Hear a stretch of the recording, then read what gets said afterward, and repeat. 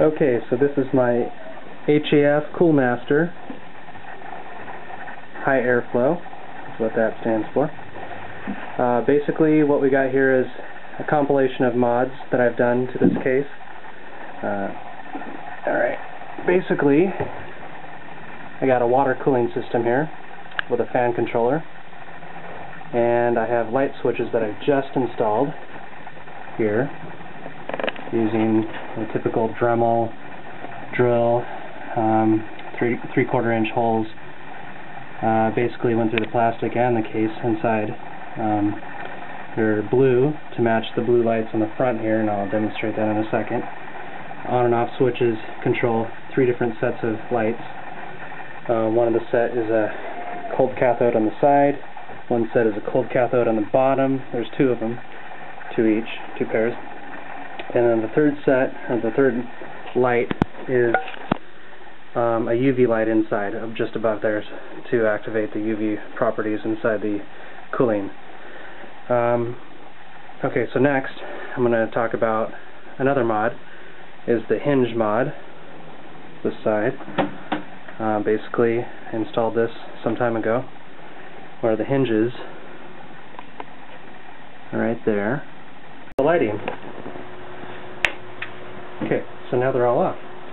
Um, bottom one controls the UV light, as seen by that little guy right there. It's supposed to activate the UV properties in the coolant, but I'm thinking about just reworking that, um, creating some kind of Molex connection, and then inserting a different kind of lighting device for my third al uh, alternative lighting source. Um, but I'm going to keep all the main wiring intact for this, this switch. The other two switches are pretty cool. Uh, the bottom, this middle one is for the bottom lighting. At night, this is very, very nice. Creates a nice um, skirt of light. It's red. The main, you know, front lights, the fan controller, the four fan controllers, the power and reset, uh, these two hard drive activity and power lights are blue, and these are blue too. So I've got kind of a dual color combination going on here. Top light is the interior light, and that really, really shines in more way than one, more ways than one. Um, not, it's not UV in per se, but it goes right through that red fluid and really makes it pop. So, here's the interior of the case with the lights on demonstrate how they've been anchored.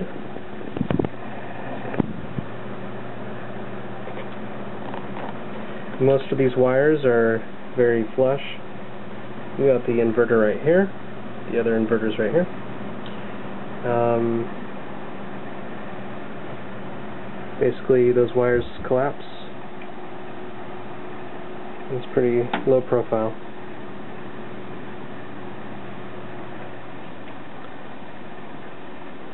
Dim on the inside, and just a skirt. No skirt, just interior lights. And alternatively, just go with UV or I'm perhaps going to go with some kind of puck, maybe a multi-light pulsating thing. Alternatively, totally off. Um, it's a very quiet case, very pleased with it. This is my final mod that I've put in aside from the initial uh, hinge mod. Now, a side note here is I've, I've also done a, another mod. It was early on when I bought this case. I noticed that it came with wheels, but the wheels it came with were very, very cheap. We're talking the plastic crap wheels that come on most, uh, you know, these little, uh, these Tupperware things or whatever they're called. They have these little plastic wheels. Very cheap. Uh, I went to Home Depot and I bought these guys here. They got nice ball bearings. Very solid.